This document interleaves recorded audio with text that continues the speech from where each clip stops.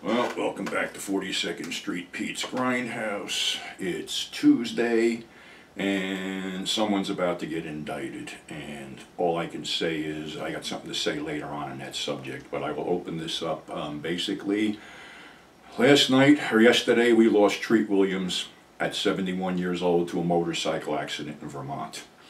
Uh, the day before that, we lost Barry Newman, age 81.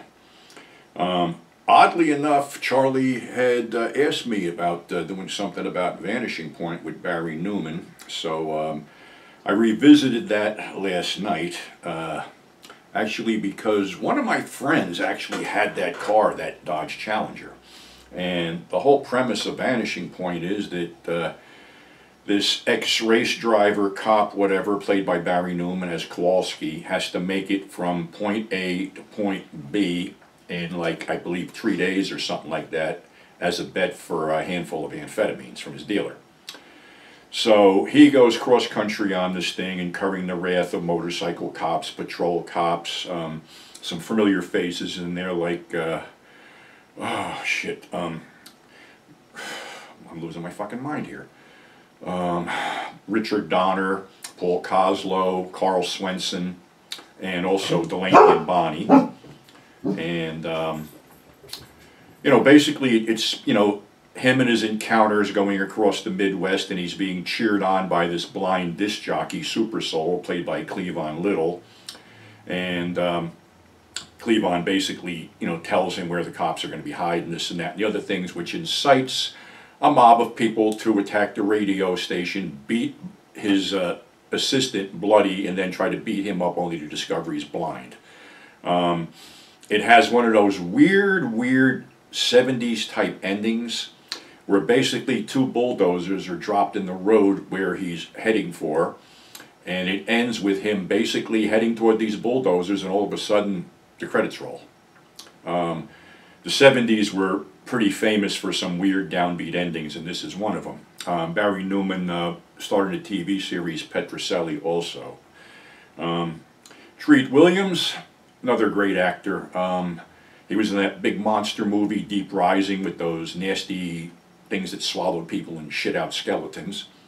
Uh, one of my favorite performances uh, of his was in uh, Things to Do When You're Dead in Denver, where he was part of an ensemble cast, where he basically played this guy who was completely psychotic and was basically working in a funeral parlor beating up corpses for exercises and actually was the catalyst to start all the, the bad shit going on by basically blowing away the wrong guy at, at a fake police stop and then basically having a death sentence put on him and all his cronies.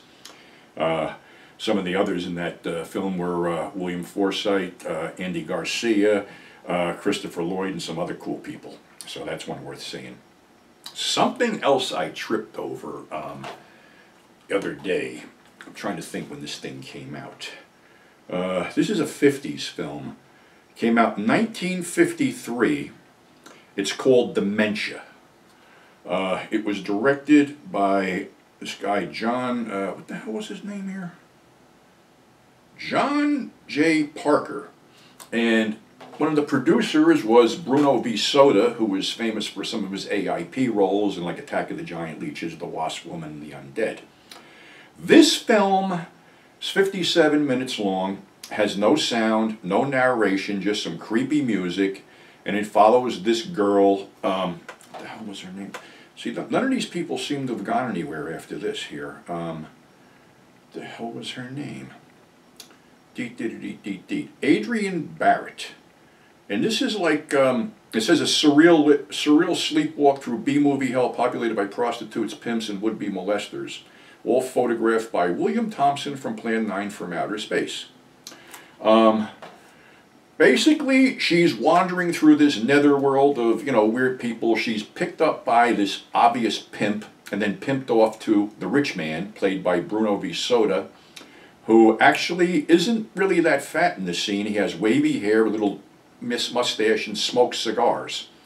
And this paper keeps floating around about uh, the stabby stabbing murders, and you see her basically holding what is billed as a stiletto, but it's not a stiletto because the stiletto comes out the front of the knife handle. The switchblade comes out from the side. So she has a rather large switchblade. So she's driving around with this guy. He's taking her from club to club with obviously a payoff in mind. When she goes into this delirium thing, the name of the film is called Dementia, actually. So she envisions herself in a cemetery and she's met by this masked guy carrying a lantern who takes over to her father's grave. And you see her father trying to molest her. And then takes the lantern over to her mother's grave. And I swear to God, her mother is a dead ringer for Hillary Clinton. So if you ever want to see Hillary Clinton get shot, you won't be disappointed. So basically, um, the husband comes back in the surreal scene in the graveyard sees her laying on a couch in fishnet stockings, dressed provocatively, and finds a smoldering cigar in the ashtray, which obviously isn't his. So basically, he shoots her a couple of times, and then the daughter stabs him in the back, and then comes back to reality, where she basically goes up into uh, the rich man. There's a lot, a lot of point of view shots, a lot of long shots, a lot of wide shots in this thing. But basically, she goes up there, she kills the rich man and throws him out a window. Now they're on the sixth floor, but the plunge seems to be off a skyscraper. So she goes down there and the body is surrounded by a crowd, but when he died, he ripped off this amulet that she had. And that's in his outstretched hands. Well, she crawls through the crowd, takes out her switchblade, and saws his hand off. Then the hand's back in the drawer. So this gets weirder and weirder and weirder till the inevitable climax. Again, this film, like I said, had no soundtrack. Well, two years later, an exploitation uh, company picked it up, cut two minutes out of it, and put in this creepy narration by none other than Ed McMahon, co-host of The Tonight Show. And basically called it Daughter of Horror and paired it up with some other films because I think this was on a triple bill. I was trying to figure this out with that whole Master of Terror, Master of Horror stuff. And I think this might have been on a triple bill because the Master of Horror was an Argentine film that was like 60 minutes. This was like 60 minutes, so it would have fit on a triple bill. Maybe that's what I was thinking. But it's a weird little film. If you want to just kill an hour of your life, you can check it out. I mean, it's early 50s weirdness, and obviously that, you know, the first cut of it would have not drawn flies, so of course it was sold to an exploitation guy who beefed it up a little bit and made it even fucking creepier. So that's available. It's on uh, Kino International, actually. Um, something else that came up, because I was doing a little research on, you know, people that had passed away already in 2023, which unfortunately has been a shitload of them. And I came across this site. Um, this is a transsexual erotic performer. I guess she does DVDs and stuff like that. Not, you know, I follow this anymore, but uh, was confirmed at death of popular trans performer Kayla Moon, as reported by local news outlets. Kayla was shot to death at a Highland Park hotel in Michigan on June 1st. No suspects have been arrested at the time. Kayla was only 34 years old. This no longer comes as a surprise. While it is still shocking to us, the rate and amount of trans people being murdered by violence, especially trans women of color, continues to increase. Our performers Chastity Cheeks and Candy Red were both murdered in the last two months, and the amount of anti-trans rhetoric, anti-trans laws, and the viciousness of the media have to take responsible for this.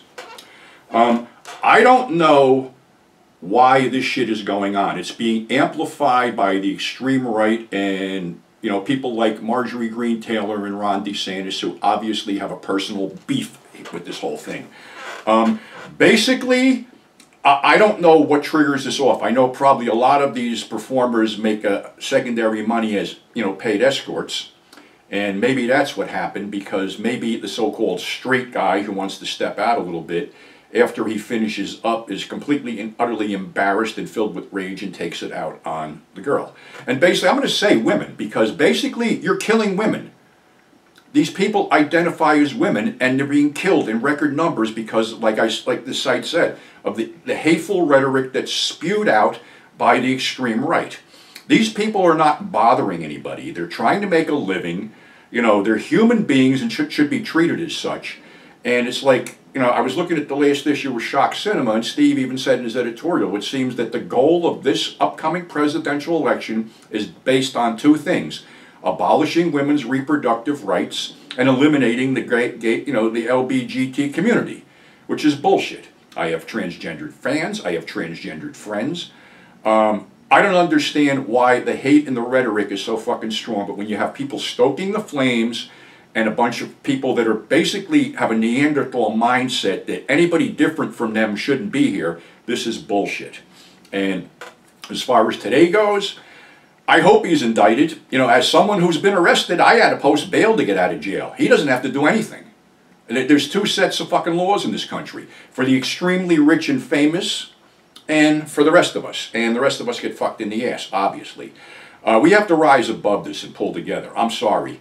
Um, if you got an issue with somebody's skin color, sexual preference, gender, whatever, there's something fucking wrong with you. We're all human beings. We're all in this together. And there's just a pile of fucking shit on the right hand side that keeps stirring the pot and stirring the pot, then stepping back because God forbid they actually get their hands dirty. No, they just stir up these idiots to go out there and do damage.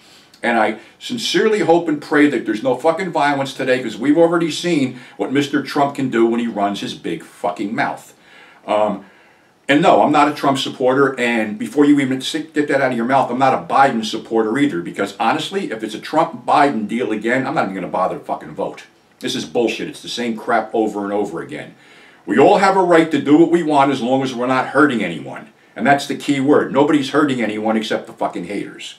So, on that note, rest in peace Barry Newman, rest in peace Treat William, and for God's sakes, treat everybody equally and nice and stop all this fucking hateful bullshit. And that's all I got today. Please be safe. Thanks for subscribing. Thanks for tuning in. And I'll catch you on the flip side.